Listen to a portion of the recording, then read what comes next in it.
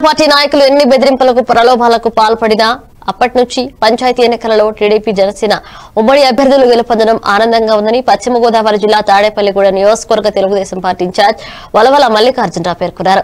మంగళవారం ఆయన మీడియాతో మాట్లాడారు. తాను నియోజకవర్గ ఇన్ఛార్జిగా బాధ్యతలు చేపట్టిన వెంటనే జరిగిన పంచాయతీ ఎన్నికలలో తాడేపల్లిగూడెం నియోజకవర్గంలోని నలభై మూడు గ్రామాలకు ఇరవై రెండు గ్రామాల్లో టీడీపీ జనసేన అభ్యర్థులు విజయం సాధించారని అన్నారు తెలుగుదేశం పార్టీ రాష్ట్ర కార్యదర్శి మున్సిపల్ మాజీ వైస్ చైర్మన్ గొర్రెల శ్రీధర్ మాట్లాడుతూ ఈ విజయానికి కారకులైన వలవల బాబ్జీని అభినందించారు. అభినందించారు. ప్రతి గ్రామం కూడా తిరిగి ఒకటికి నాలుగు సార్లు తిరిగి తెలుగుదేశం పార్టీ యొక్క ఉన్నతికి కష్టపడి ఈ రోజు ఇంత విజయాన్ని చేకూర్చిన దాంట్లో బాబ్జీ గారు ముఖ్య పాత్ర పోషించినందుకు మరొకసారి ఆయన కృతజ్ఞతలు తెలియజేసుకుంటూ పెద్దలు చెప్పినట్టుగానే బాబ్జీ గారు చెప్పినట్టుగా ఏదైతే పాతూరు రామరాజ్ చౌదరి గారు మొన్న ఏదో చిన్న తెలుగుదేశం పార్టీ అంటేనే కుటుంబ సభ్యుల పార్టీ చిన్న చిన్న ఇబ్బందులు వచ్చినప్పుడు మాలో మేము సరి చేసుకుని ఎదురుకి వెళ్తా ఉంటాం. అప్పుడేదో నేను రైతు సంఘ అధ్యక్షుడు రాజీనామా చేశానంటే ఈరోజు నిన్న పవన్ సీతారామన్ సింగ్ గారు దాన్ని తీసుకోవడం జరగలేదు తిరస్కరించాము. మళ్ళీ వాళ్ళ తండ్రి గారు కొంచెం మొన్న కాలం చేయడం వల్ల ఆయన కార్యక్రమాలు ఉన్నారు. అయిపోయిన వెంటనే వెను వెంటనే రేపు ఈ కార్యక్రమం అయిపోయిన వెంటనే తెలుగుదేశం పార్టీ మళ్ళీ రైతు సంఘ అధ్యక్షుడిగా జిల్లా రైతు సంఘ అధ్యక్షుడిగా అలాగే తెలుగుదేశం పార్టీ కార్యక్రమాల్లో పాల్గొంటానని చెప్పి ఆయన కూడా చెప్పడం జరిగింది.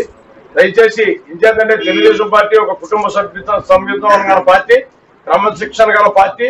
ఆనందదాయకంగా ఉంది. ఎందుకంటే నన్ను ఇన్ఛార్జిగా నియమించడం వెంటనే పంచాయతీ ఎలక్షన్లు రావడం.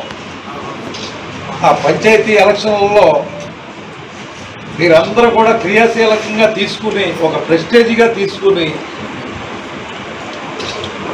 మరి సుమారు అలయన్స్లో ఇరవై రెండు గ్రామాలని నలభై మూడు గ్రామాలకు ఎన్నికలు జరిగితే ఇరవై రెండు గ్రామాలు మన అలయన్స్ గెలుచుకోవడం జరిగింది.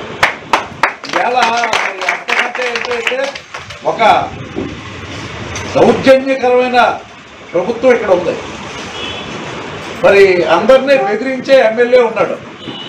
మొత్తం అందరినీ బెదిరించడమే కార్డు తీసేస్తానని లేకపోతే నీ వ్యాపారాన్ని పాడు చేస్తానని అలాగని ఇలాగని అవాకులు చవాకులు. ఇంకా చెప్పాలంటే వాళ్ళ అబ్బాయి కూడా చెలరేగిపోయి మరి మాట్లాడటం జరిగింది. ఒకనొక చోట అయితే కస్వా పెంటపాడు అనే గ్రామంలో తెలుగుదేశం పార్టీ నాయకుడు తోటగోపి గారిని చాలా దారుణంగా అవమానకరంగా మాట్లాడటం జరిగింది. దానికి సమాధానమే తొమ్మిది వందల యాభై తొమ్మిది ఓట్లతో మరి కస్బా సర్పంచ్ని గెలుపు గెలిపించుకోవడం జరిగింది.